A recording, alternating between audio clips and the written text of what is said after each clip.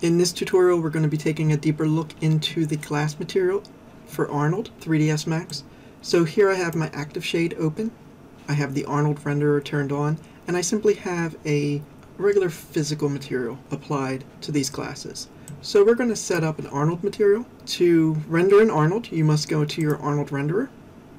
I have both active shade as well as my production renderer both set to Arnold. In both of these, I have to go into my system and turn on legacy maps for me to use any of the other than Arnold standard materials. So I have that, and now we're just going to go and take a look at how to set up the Arnold materials. So in my material editor, I'm in the current view of Slate Editor. I'm going to right click, go to Materials, pick Arnold, and I'm going to go down to Surfaces and just pick the standard surface.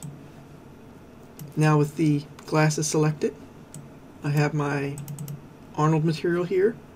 I'm going to apply it to the surface and make it visible in the viewport.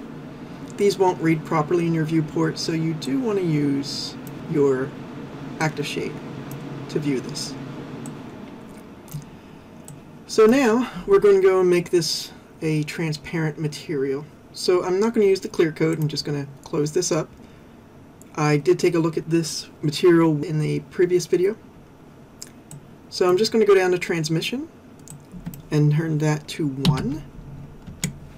And now you'll see we get transparency. We also get some issues. We're going to take a look at these issues shortly. But I have four glasses, and when I modeled these glasses, I have them as two-sided. I do have some detail in the glass. So we do have a little bit of specular roughness. Our specular set to 1. Everything else is a default setting. So now that we have that applied, we're just going to take a look at how to make adjustments to our render of transparent materials. So I'm going to close up the material editor right now and we're just going to stay in the active shade. So when you look at this, you'll see we have a, a few issues.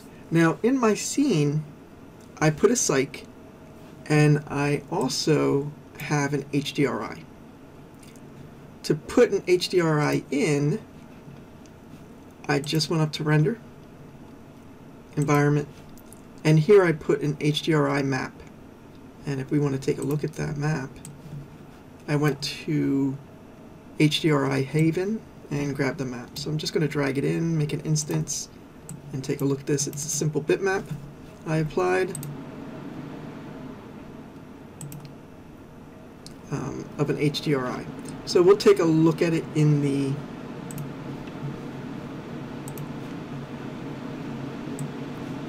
file. And in my project folder, 3ds Max, I went ahead and placed some HDRIs, my images, and here they are. So the one I'm looking at right now is the studio one. So to put those in, and I'll just change the HDRI, we can go into our, there are different ways to do this and different types of maps we can put in. So I just put in a standard. I'm going to delete this, so I'm just going to clear it. And you'll see we get a different look in our scene now. I'm going to go to None, click on it, go to Bitmap, and then pick from my HDRIs. So this is the one I first put in, and I'm just going to put in a second one. So this is a different studio. Um, this one's a little bit warmer, and then I have more of an interior garage. So we'll use the interior garage. When you click, it's going to load the HDRI. It gives you choices. You can just leave the default for what we're doing.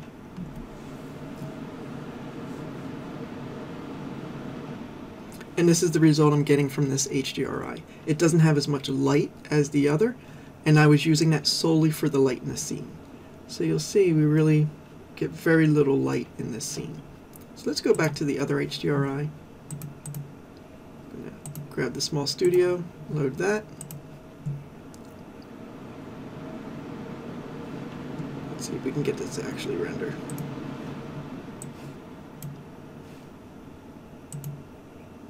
There we go.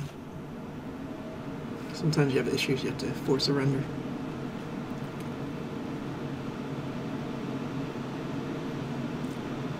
Okay, so when we look at this, we have a few issues with the glass. So as I'm looking at it render, I can see it hasn't rendered transparency through all the levels. So we're going to look at how to make adjustments to this and how to fix this. So let's just come in, go into our render setup. In our render settings, I'm going to go and make sure I'm under the correct renderer. So right now I have my active shade open and I want to make the adjustments in my active shade.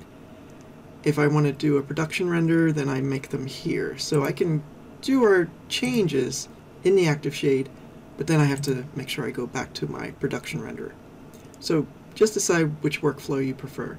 I can just do everything in the production renderer um, but if I am working in the active shade, I have to make updates to the production renderer, to whatever changes I'm making. So with your production renderer, if you want to save, you have to make sure you set it up to save your files in the common render output. But for us, we're not going to be saving this. We're just going to be making quick renders and then looking in. So we'll just stick with the production renderer right now. These are our default settings.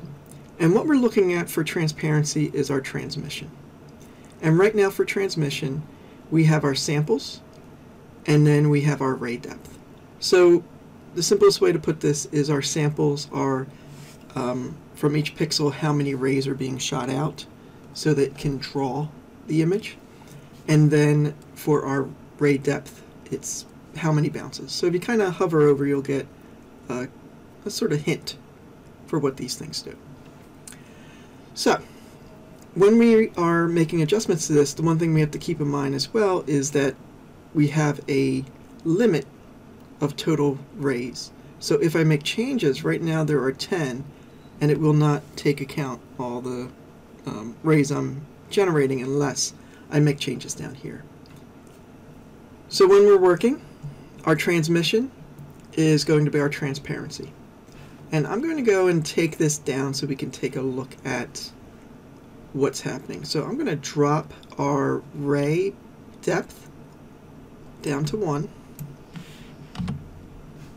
and make a render. And I don't need to finish this render. You can see from the start of the render that we're not getting any true transparency in the beginning glasses. Back here, I'm getting a little bit of transparency because we're not going through any layers. We just have this single object.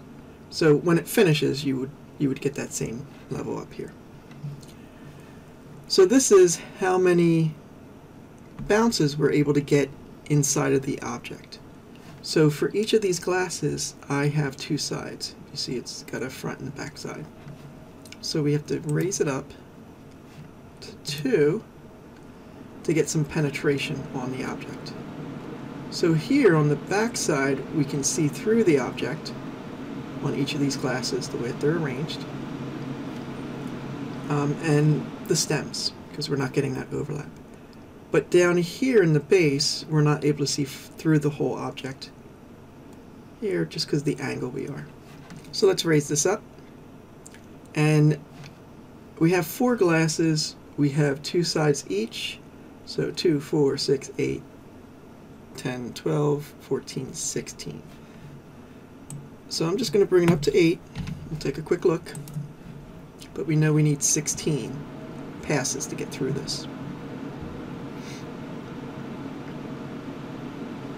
And each time we generate with a higher amount, we have a longer process. So the more we're raising this, the higher the ray depth and samples, then the longer the render. Now right now I have 8. I went back up to 8. We have the same error we did in the beginning. But if I raise this anymore, we're going to have an issue because we have our total rays set for 10. So I know I'm going to need to add at least 16, 17, 18 for what we have. So I'm going to raise this up to 25 just so we have enough. And then we're going to raise this up to 16. And now we're getting enough passes to get through all the glasses. So we still have a little bit of noise when we're looking at this, Um, and that's going to be our samples need to go up. Our ray depth is enough to get through all of our glasses. So it took a lot longer to get through the glasses, and that's why you want to really pay attention to what you have in your scene, what needs to be rendered, to make sure you're not setting your numbers too high so you're not wasting time on renders. And right now, if I zoom in, you'll see we have a lot of noise in this scene. Now I'm not worried about the background here. We're just looking at the transparency. So if I want to fix the background, I'm going to fix our diffuse. But what we want is our transmission, um, so where the transparency is. So if I raise this up in our samples, now we're going to be generating more rays out of each pixel. So we'll go up to 4. I'm going to save this, and we're going to do one more render. And of course, these pixels are going to stay blurry, but the hope is we're going to get a little bit clearer render in our glass.